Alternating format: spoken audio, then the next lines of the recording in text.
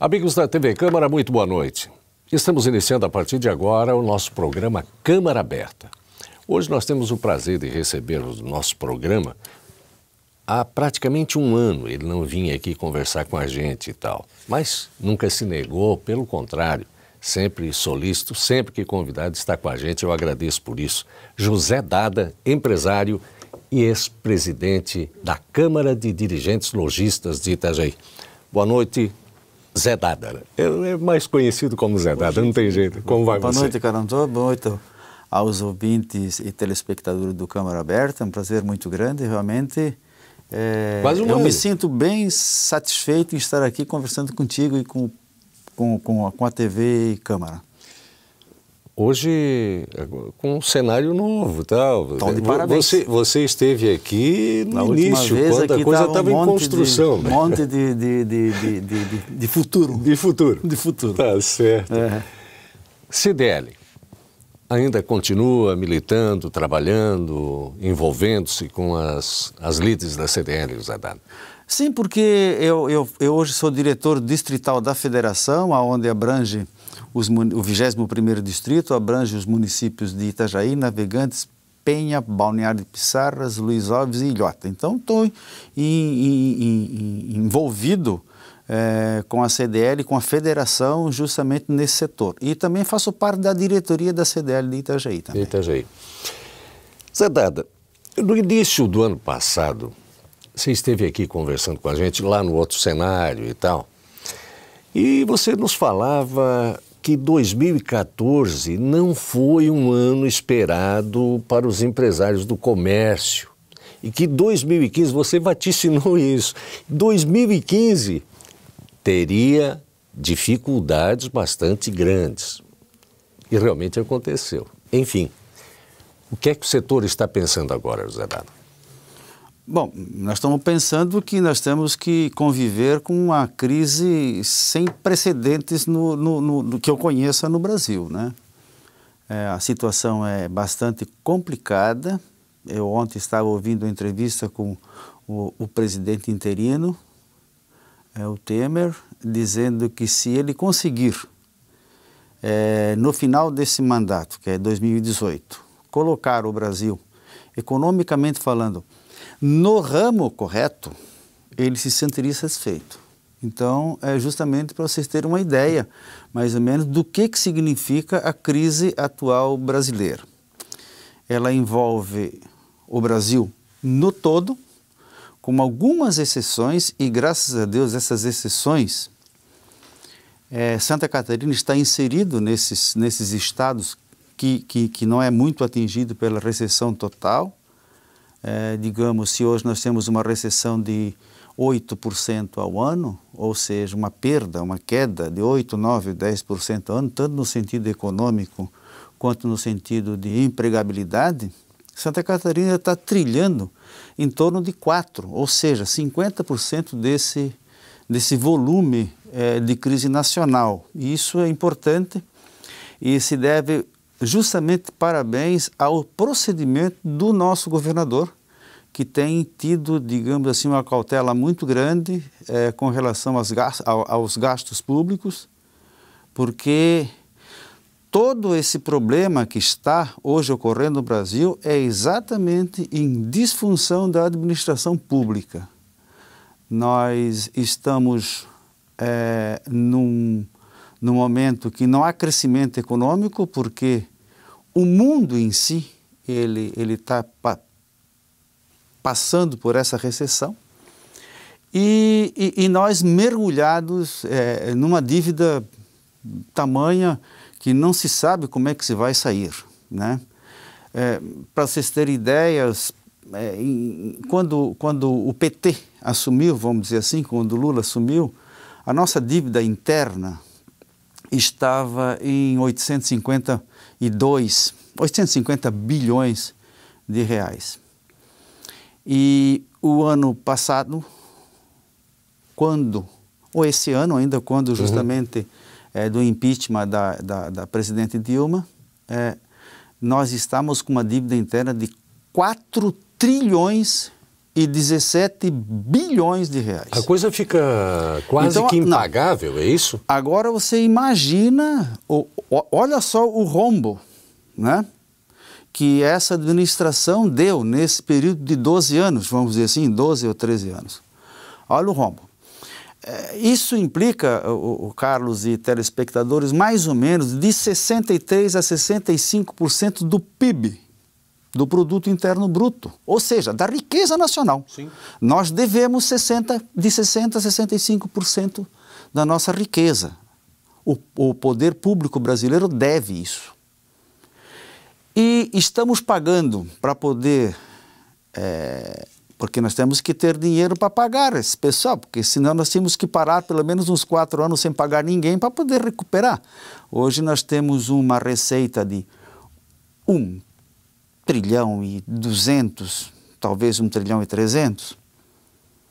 Se nós estamos devendo quatro, então precisaria pelo menos de três a quatro anos, né, para poder não pagar mais ninguém. Dando calote pra, em todo mundo. Não pagar ninguém. Agora imagina só a situação econômica não brasileira. Existe como, né? É, isso nos custa hum, anualmente 600 bilhões de juros que nós estamos pagando. Olha só a dificuldade que o presidente tem de se fazer uma administração. Isso, uh, nós, o povo brasileiro, as demais autoridades, até acontecer a situação, o início dessa situação com relação ao presidente Dilma, Ninguém, ninguém sabia disso, ninguém notava isso, ninguém percebia isso.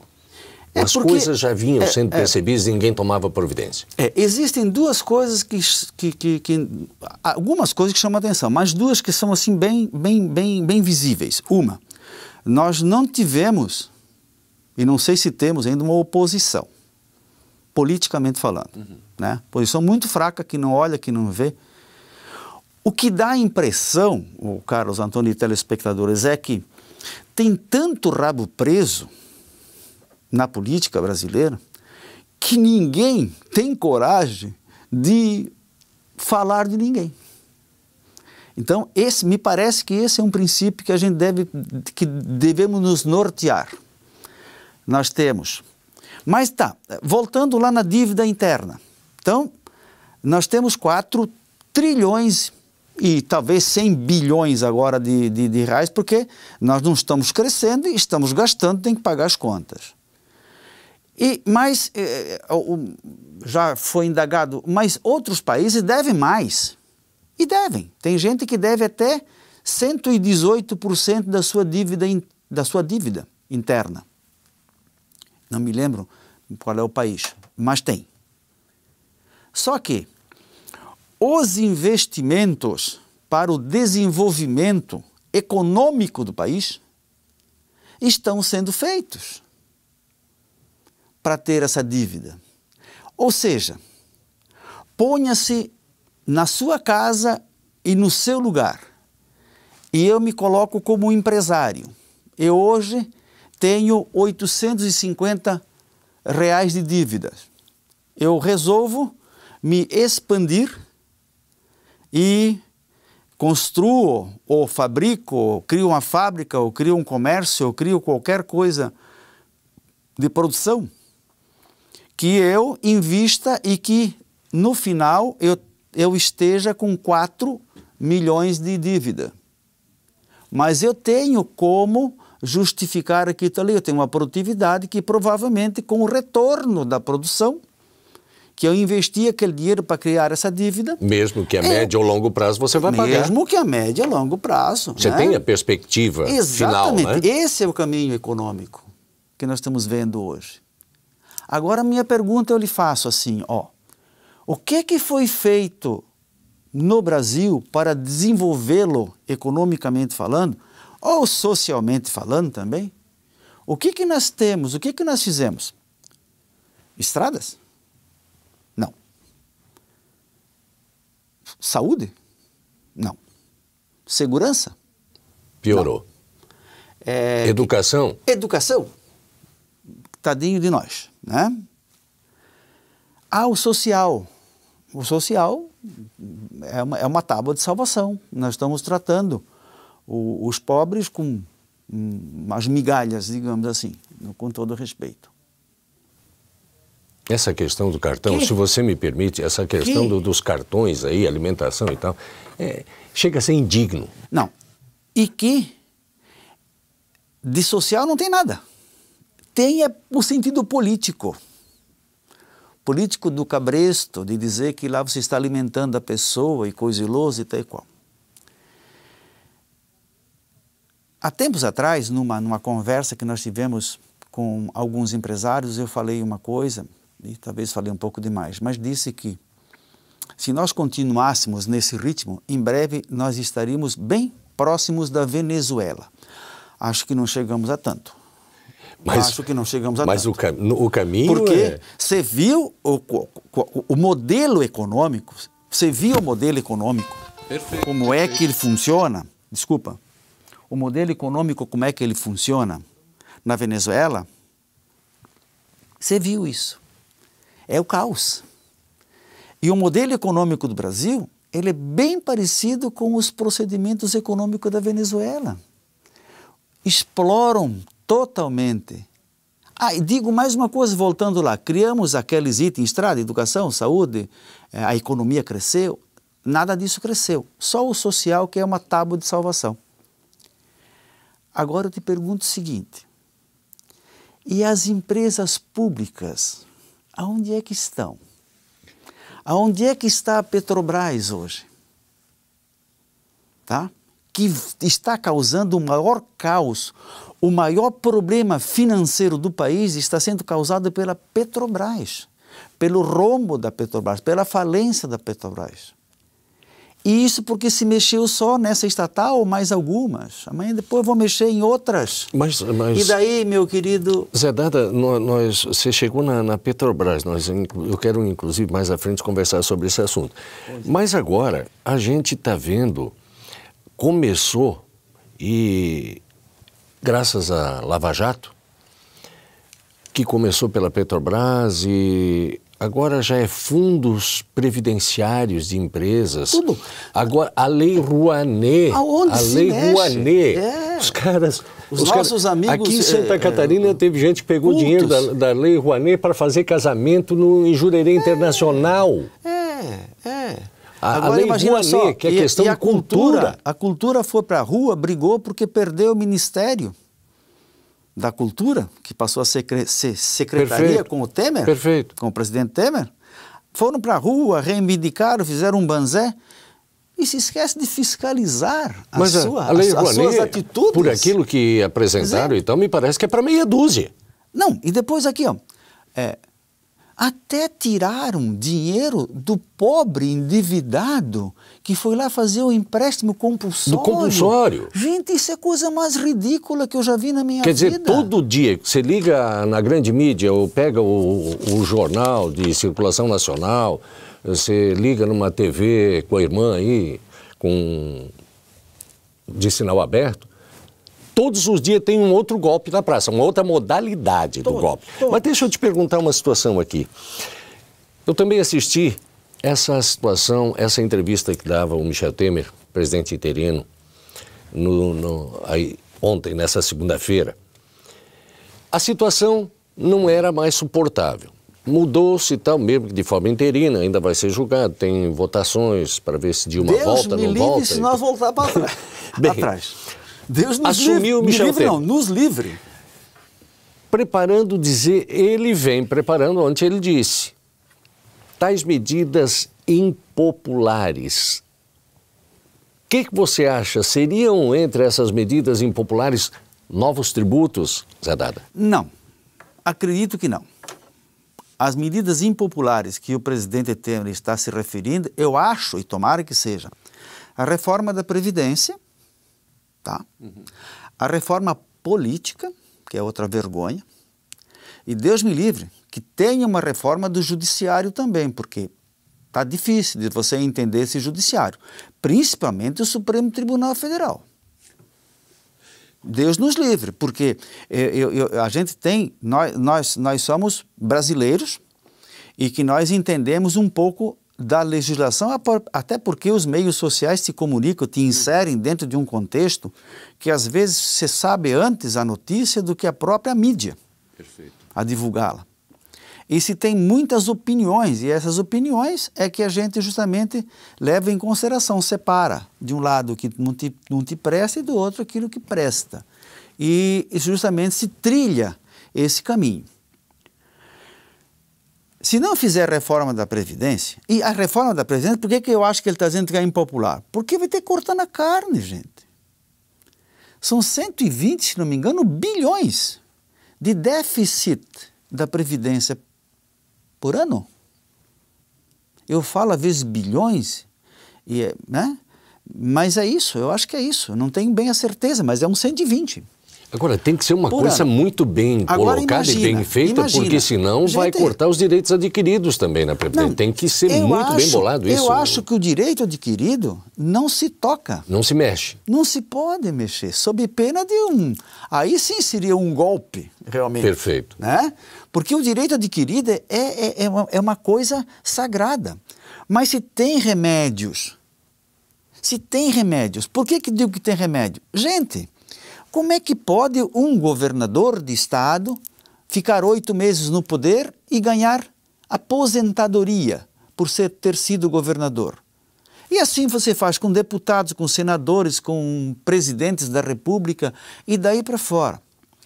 Previdência, gente, você tem que receber depois de uma determinada idade, que é onde você cansou de trabalhar, você quer gozar esse saldo de vida que você tem, para você ter uma economia que você fez um retorno daquela economia que você fez. Você não pode ter privilégios. Eu acredito que ele venha com isso. E daí você vai ter que manter o que já está escrito, que são os direitos adquiridos, mas mudar daqui para frente os procedimentos. Porque o que, que acontece? Uma época, vou dar só um exemplo. Uma época, é, é, o cônjuge sobrevivente é, optava pela pensão dele ou pela aposentadoria dele. Se ele contribui, se ele contribuiu para essa coisa, direito ele tem, não há dúvida nenhuma. Proporcionalmente, se você, na tua proporção que você contribuiu para a previdência social, você tem direito a ganhar, desculpe, um salário mínimo por mês, que ganhe um. Se tem ganhar metade, que ganha metade. Esse é o princípio correto de toda a previdência. Se você privilegiar pessoas, você vai tirar de alguém. Entendeu?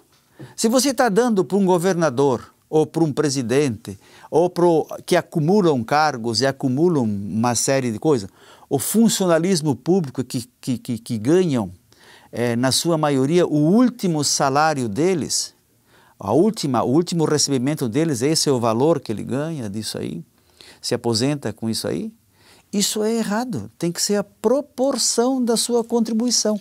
E eu acho que é isso que ele vai ter que fazer. Fazer. É essa e essa outras seria. situações. A política também. Eu vou pedir só um instantinho a você, ao nosso amigo telespectador. Nós vamos a um rápido intervalo, você me permite? Amigo telespectador também. E a gente já volta conversando com o José Dada. Além disso, eu quero deixar uma, alguma coisa para você pensar nesse intervalinho ali, para a gente voltar a conversar sobre a, a grande mídia tem noticiado números aproximados de 20 milhões de desempregados. Zé Dada, o governo fala em medidas impopulares. Hoje, muitos, hum, e bota gente nisso, já voltou para a informalidade após tanta luta para pertencer ao mercado formal, inclusive incentivado pelo governo com carteira assinada, com a sua empresinha descontando o seu, seu imposto, pagando seu imposto, saíram da informalidade depois de tanto tempo tal, forma, voltaram. O que, que você pensa a respeito disso? Depois do nosso intervalo a gente volta. Um instante só. Obrigado pela sua sintonia. Até já.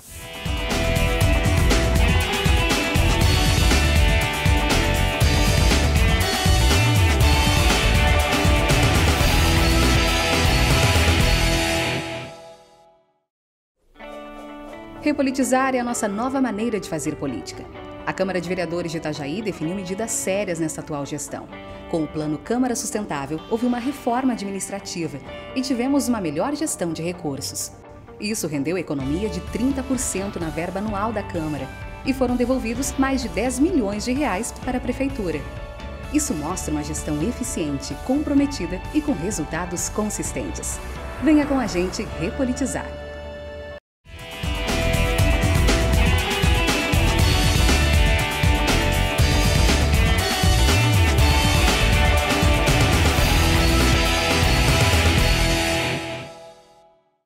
Meus amigos da TV Câmara, estamos de volta com o nosso programa Câmara Aberta e hoje a presença do ex-presidente da Câmara de Dirigentes Logistas de Itajaí, hoje diretor também da Federação dos Dirigentes Logistas de Santa Catarina. Muito obrigado pela sua presença, José Dada, que conversa conosco sobre uma série de situações aqui é, o engraçado, nós aqui falamos sobre siglas partidárias e tal, e uh, não vem aqui somente uh, críticas ou elogios a esta sigla ou aquela, até porque eu acho que esses fatos nefastos todos que estão acontecendo com relação à política, à economia de forma nacional, é, não sei se tem uma sigla que dá para reservar. Não, essa aqui não está envolvida em alguma coisa. Até agora não vi uma. É difícil. É difícil. É a não ser que a gente pegue uma lupa lá. Aliás, eu não sei é por que tanta sigla partidária, porque tanto partido. A reforma, a reforma é, é, é, política se faz extremamente necessária. Necessária, né? É, um, é uma coisa por demais. Bem, então não vamos confundir aqui, não vão críticas e tal a determinada sigla. Vai ao contexto não, geral. Até porque, até porque, a referência foi com relação ao início é, justamente do, do, da era Lula, né? Me que, que, uma... que é do PT. Que, que... A gente fala com o comerciante, fala com o empresário e tal, não, não tem como dissociar as atividades comerciais e tal da política, não é? Não dá. Não dá. Não, não dá. tem como. É que nem é que nem a religião. É você pode criticar, você pode até não ser religioso, ser ateu, mas é, você está envolvido no, no, contexto. Zé Dada, a gente fala, eu deixei para o segundo bloco aqui para a gente conversar. Grande mídia noticia números de desempregados por volta de 20 milhões. E o governo falando em medidas é, impopulares, é, muitos já voltaram para a informalidade quando tanto trabalharam para pertencer aos quadros formais, ao mercado formal, e agora voltando. Então, o que, que você pensa a respeito disso? Bom, é, nós tocamos no, no, no, na mídia, né? Sim. Eu acho que mídia foi é, é a condição essencial para ter se levantado toda essa, essa, essa, essa, vamos dizer assim, essa ladroeira que existe. Essa lama toda é, aí, você acha tudo. que. Ah, foi a, a mídia, não, não, a não mídia foi a mídia, levantou. Fez um bom trabalho. ótimo trabalho. Se não tivesse a mídia, é, funcionando, que nem está funcionando hoje, ela é independente, ela é crítica, ela, ela automaticamente nós não estaríamos, estaríamos nesse, nesse mesmo vale de lágrimas que nós, que nós nos encontramos hoje, estaríamos tocando sem levantamento nenhum. Até porque Você tocou num te... assunto, tocou no assunto que é imprescindível. Até porque Todos, a nova tecnologia, tal, tal maioria, WhatsApp, é, a maioria, rede social, A maioria né? dos partidos políticos estão envolvidos é, com propina e com desvios de dinheiro, com, com caixa 2 e, e, e, e, coisas ilosas. Bom, o que, que acontece? Você falou na informalidade, no, na perda do, do, do, do emprego. emprego. o pessoal está voltando a alguns anos atrás, e nesse sentido. O que, que acontece? Acontece que houve a queda de produtividade no país devido à recessão. Nós tivemos o problema Lava Jato, ah, né? aliás, é, o, o, momento Lava Jato, que levantou. É, todos, Esse roubo. Todos grande, os né? dias que você liga o rádio, é, a televisão ou lê o jornal, está lá uma novidade de um tipo de desvio de dinheiro que fazem com relação a a, a, a, economia brasileira. Porque quando você tira um dinheiro de, de alguém, de, de, algum lugar, esse dinheiro deixa um rombo. É a mesma coisa que, que você tem um dinheiro no teu bolso e alguém vem, te tira uma parte. Você não vai conseguir pagar as suas contas, você não vai fazer uma série de coisas. Entendesse? E, e, justamente esse é o ponto. E há muito dinheiro desviado, há bilhões e bilhões de dinheiro desviados ali nesse sentido.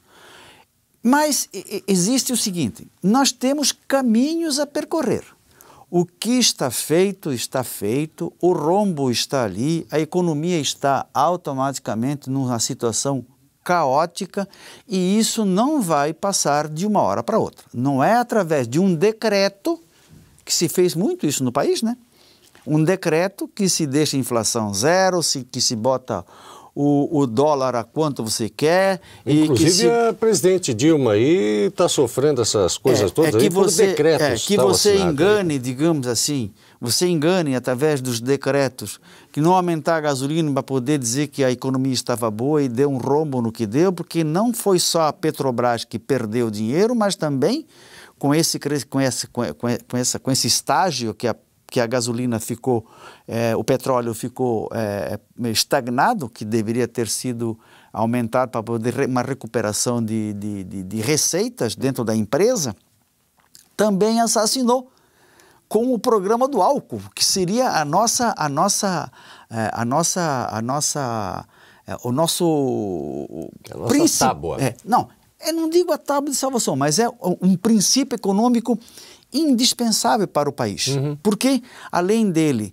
é, estar fora da, da, da, da zona de, é, urbana, ele está na rural, né? automaticamente isso já é um valor muito grande que se tem, né? que todo mundo procura a zona urbana. Ainda acabaram com o programa do álcool. Por quê? Porque desvalorizaram a gasolina, o pessoal não queria mais, o produtor de álcool não dava mais conta de fazer, então deixou, fechou a fábrica, faliu e foi nessa desgraceira total. O que, que ocorre hoje? E aí o que o, o presidente Temer estava falando nesse, nessa recuperação até 2018. O que nós temos que fazer é, o caminho é aquele que está ali, é privatizar o máximo, gente. As empresas públicas. Era essa situação que tem aqui, ó. Tá. Mandou assessores direto Temer levantar em suas áreas o que pode ser privatizado ou concedido ao setor privado. Esse é o endereço? Claro, porque daí você não tem, tem menos lugar para roubar. A realidade é essa. Não, e Entendeu? além do roubo, a e ineficiência você... de pegar um médico para cuidar da. Não, e depois. O, o, o de outra área totalmente diferente. O que, que ocorre com isso? O que, que acontece com a economia? Não há um desenvolvimento, há uma, uma, uma, uma estagnação do poder público, porque são muitas indicações políticas, são muitas indicações que, olha só o que, que ele fez, por exemplo, ele está proibindo de, de se indicar pessoas políticas, pessoas de parentes, de políticos, de sindicatos, de, de sindicatos para poder... Para as é, estatais, né? Exatamente, para poder estagnar essa sangria que tem de ir lá e meter a mão e fazer essa cobertura, esse encobertamento de não se contar nada para ninguém e se jurar até o último dia que são inocentes e coisas e que nós estamos useiros e saberes de fazer. Depois disso tudo aí, deixa, até é, agora não deixa, tem um que tenha confessado ah, culpado, né? Ninguém, ninguém, ninguém, não pode. E, não dá. A não ser os delações, os delatores, Sim, os delatores. lá, que daí eles estão dentro do esquema diferente, que foi, digamos assim, um dos, um, uma das, uma das, não digo, chamar esquema muito relativo, mas um dos, do, dos viés né? Uhum. que, que, que, que a, a justiça pegou justamente para desbaratar essa, isso tudo que está ali. Mas então, ocorrendo esse fato, você vai. É, pessoas de fora estão notando que o Brasil está mudando. E onde é que, se lá existe uma situação econômica ruim, tem gente que tem dinheiro nesse mundo afora e até dizer chega. Eles voltarão com toda certeza a aplicar no Brasil. E daí, como é que vão aplicar? Não, eles vão aplicar na produtividade. É, digamos que nós é, é, é vamos privatizar uma empresa brasileira que seja assim de, de, de renome não vou nem falar na Petrobras, que para mim deveria ser privatizada. Nós já estaremos fora é, da dependência internacional do petróleo com preços muito mais acessíveis, porque daí existia a concorrência. E a melhor o, forma o, o que brasileiro tem... hoje sempre foi contra a questão de privatização, né? porque somos extremamente nacionalistas. Hoje estamos preparados para isso, Zé? Querida, ser nacionalista é ir pelo melhor caminho do desenvolvimento. E isso para mim é ser nacionalista, tá? Eu ouvi do presidente Lula, que ele jamais iria privatizar a Petrobras, inclusive na épocas políticas, quando ele ganhou pela primeira vez, uhum. tá? Dizendo que a Petrobras era dos brasileiros. Será que é dos brasileiros? Eu acho que é deles. Fizeram um gato e sapato com a Petrobras. Mas tá, se você começar a privatizar e tirar de dentro do poder público esse controle exacerbado que só vira em propina e vira em falcatruas, é, você está dando crédito ao investidor. E isso é importante. Eu quero te fazer uma pergunta. Traz, sobre... Tu traz de fora para dentro o dinheiro. Pois é, mas aí nós começa, temos hoje uma... Tu começa a fazer com que a economia cresça. Nós temos um exemplo aqui em Itajaí, Aí você... O porto de Itajaí. Ah, você pega, você pega, você tira daquela informalidade que está lá e traz para a formalidade aquelas pessoas que hoje sofrem, sofrem as consequências do, do Você desemprego. seria favorável à privatização total do porto? Totalmente. Totalmente. Eu sempre digo isso, é, desde quando eu era presidente da CDL, que eu sempre fui a favor da privatização do porto. Tanto do lado de lá, que está privado Sim. e vai muito bem, obrigado, que o lado de cá. Porque uma das ideias de, de, do novo presidente, do Michel Temer, é a questão de rodovias, privatizar as rodovias, privatizar portos, privatizar aeroportos e tal. Exatamente. Ele, olha, a Petrobras ainda não, essa eu quero dar um jeito aqui, mas o que for ah, é porque de ela está desvalorizada aí... de uma forma que hoje eu acho que ela não paga nem as dívidas dela. Não, o patrimônio dela não paga a dívida patrimônio dela, não né? paga. Nós estamos devendo tem que o haver dobro uma do recuperação, patrimônio. né? Tem que ter uma recuperação, senão você não consegue. Se dá de graça, a gente tem que pagar para Meter a mão até nos fundos previdenciários da Petrobras. Aí, do, é, não é só, não é só da Petrobras, não. Tem sim, o fundo sim. do Banco do Brasil, tem o fundo disso, o fundo daquilo. Fundo da... mas em termos de Petrobras, ah, foram até na, ah, no fundo previdenciário. Não, agora tem mais um agora aqui. Era dinheiro agora, nem me lembro de tantos, a gente nem me lembra, mas da Petrobras também, que era da, da, da Saiu agora, ontem, ontem, não me lembro, mas também. Mas o fato, na tua pergunta, então, você, você o, o Brasil voltando a crescer com o crédito, fazer uma administração honesta, sincera, aberta e com futuro promissor, você automaticamente, corrigindo os erros que tem ali, que estão ali, que não são poucos, você vai fazer com que o empresário interno e o empresário e o investidor externo olhem para o Brasil e investe no Brasil. José Dada, nós estamos chegando ao fim. Tudo que é bom dura pouco aqui, mas nós vamos, nós, você virá tantas e outras vezes aqui. Aliás, nunca se negou a estar conosco aqui para que a gente continue esse papo muito legal. Mas eu quero ainda, me dá mais um minutinho, meu amigo Abelardo ali, o Luiz Alberto. Um minutinho para a gente, para o Zé Dada encerrar a participação dele hoje aqui no nosso Câmara Aberta, da seguinte forma: com tudo isso que nós conversamos, com essa situação um tanto nebulosa em termos de economia no país, aí, nós estamos às portas é, de uma eleição municipal. O próximo prefeito de Itajaí vai ter problemas com tudo isso acontecendo? Muitos. Não precisa nem acontecer mais nada. Rapaz! Muitos. Seja ele quem for, não, não estamos falando seja, de sigla partidária não, aqui, não. Não, não, seja quem for. A dificuldade. E não porque a administração do atual prefeito Jandir Bellini tenha sido má, não, absolutamente. Situações econômicas. Tá? Nós temos que ter coragem, nós temos um porto do lado de cá, vamos dizer assim, Sim. o porto de Sim. Itajaí, do lado de cá, que não funciona. E deveria funcionar que nem o lado de lá. O que, que tem que ser feito? Que se faça. Essa é a realidade. Ah, mas é aquele negócio, vai cortar na carne. Vai. Mas se você cortar na tua carne você automaticamente. Quer ver uma coisa? Quer, quer, quer ver o, é, o meu desejo como da Previdência? Vamos voltar só um pouquinho lá.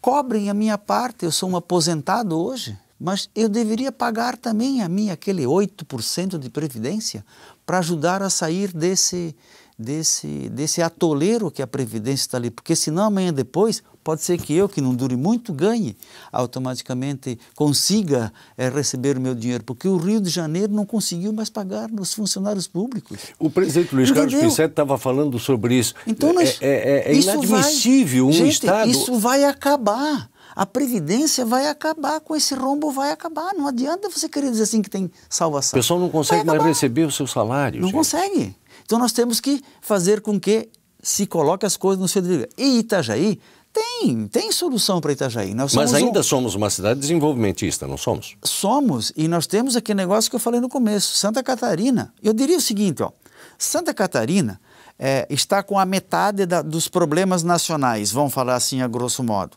Itajaí estaria na, com a metade dos problemas estaduais. Olha só como nós estamos num privilégio. Nós aqui gozamos é, de um porto importador e exportador que nos rende muitas divisas. Nós gozamos de um turismo fortíssimo, que não é brincadeira, que é uma renda muito importante, e ainda gozamos da nossa, nem vou falar do comércio, tá? Da nossa indústria que ainda muito minguada, mas que já cresceu e está se produzindo a cada dia mais. Então, Itajaí tem que se desenvolver através, por exemplo, de uma duplicação que está ocorrendo é, com, a, com, a, com a Antônio Raio, é, tem que reformar e fazer a nossa 470, duplicá-la, para poder o desenvolvimento correr atrás. Não vou nem falar na via férrea, porque é um, no, do momento não haveria, não haveria condições economicamente falando. Zé Dada, foi um prazer tê-lo aqui. Muito obrigado. obrigado. mais uma vez com a gente. E esperamos, te esperando em breves dias aqui para nós conversarmos sobre outros assuntos e que sejam esses assuntos de interesse da nossa coletividade, da nossa querida Itajaí, da nossa querida e bela Santa Catarina. Tantas coisas para a gente criticar. Também tem de forma construtiva, obviamente, até porque somos itajaienses, gostamos da nossa cidade, da nossa terra e, com certeza, vamos criticar construtivamente e elogiar as ações que se faz pelo bem e pela melhor qualidade de vida da nossa cidade, da nossa gente. Boa noite para você, muito obrigado, foi um prazer. Né? Boa noite, um prazer muito grande e estou sempre à disposição. E você que ficou conosco até o presente momento, muito obrigado pela sintonia. É um prazer tê-lo sempre conosco. Até o próximo programa, amigos. Boa noite.